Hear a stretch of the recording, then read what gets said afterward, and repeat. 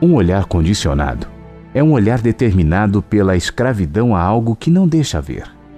O problema é que o que condiciona o olhar é o próprio olhar.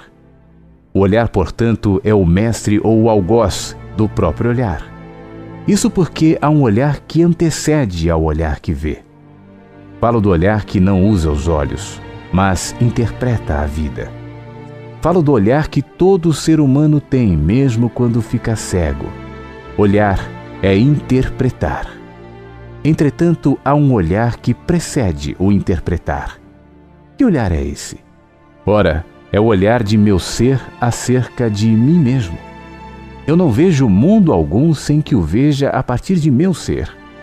Por isso, Jesus disse que os olhos são a lâmpada do corpo. O olhar do meu ser não tem que iluminar o mundo com luzes de falsificação. O olhar do meu ser somente será iluminado se antes me iluminar. O meu olhar não tem que iluminar o mundo, mas tem que me iluminar, em qualquer que seja o mundo.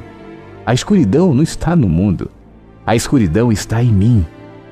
Assim, Jesus diz que será a luz do mundo apenas aquele que tem um olhar que ilumina antes o seu próprio ser. Vós sois a luz do mundo. Os olhos são a lâmpada do corpo. Se os teus olhos forem bons, todo o seu ser estará iluminado. Mas se forem maus, todo o teu ser estará em trevas. Mas há quem se candidate a ser luz do mundo vivendo em profunda escuridão. É mais fácil brincar de luz do mundo do que limpar o olhar todos os dias. Desse modo, por tal princípio, o que Jesus me ensina é que o mundo pode ficar como ficar, mas ainda assim, meu ser poderá ser pura luz, apesar de tudo.